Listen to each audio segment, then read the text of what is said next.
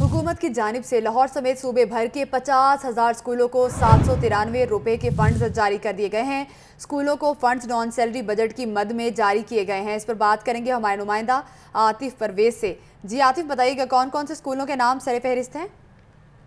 جی Lahore district کے بارہ سو سکولوں کو جو ہے نان سیلری بجٹ اور سمیت جو پچاس ہزار سکول ہیں، ان کو یہ نان سیلری بجٹ اور نو سو بائیس کے قریب جو سکیمیں دو ہزار